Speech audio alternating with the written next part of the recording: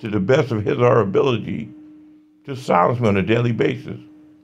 Sending nurses in here from the FBI to negotiate and learn what's on my mind just to talk me out of my thought process, whether I'm lacking mental capacity on the, the, the FBI. I basically found out the same thing with me. Can somebody please talk about of that he got since? I'm the last family member too of my family who saw some terrible things.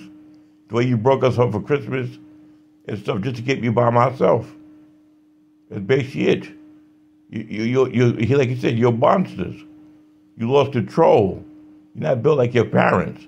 You keep trying to recover shit after COVID 19, or not after, because of the effects that COVID did to you.